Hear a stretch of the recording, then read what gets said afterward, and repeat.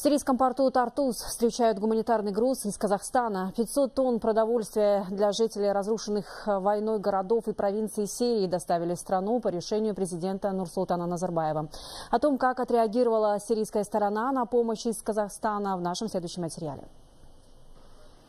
Помощь из Казахстана здесь ждали, ей искренне рады. Заместитель главы внешнеполитического ведомства Сирии Фейсал Аль-Мигдат во время встречи с послом Казахстана в Сирии Азаматом Бердыбаем от имени правительства выразил благодарность президенту нашей страны и народу Казахстана.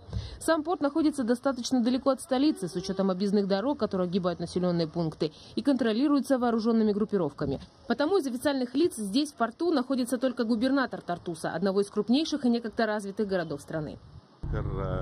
В Тартусе сегодня проживают переселенцы из других регионов Сирии, поэтому этот гуманитарный груз для нас бесценен. Помощь в данном случае от Казахстана облегчит страдания людей, буквально оставшихся без крова. От имени сирийского народа я хочу выразить благодарность Нурсултану Назарбаеву и народу Казахстана. К слову, до жителей Алеппо, Дамаска и сирийских провинций помощь дойдет лишь в течение нескольких недель. Много времени занимают процедуры по ее распределению. Гуманитарный груз сортируют в зависимости от потребностей. Таким образом, люди смогут получить то, в чем действительно нуждаются.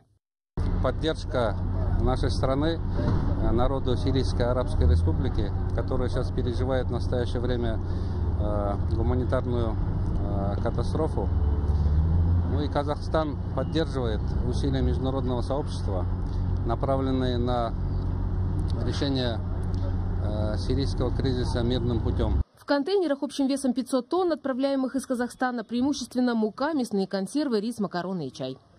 Наталья Илюхина, Руслан Идрисов, Каната Бильдин, Сирия, Хабар 24.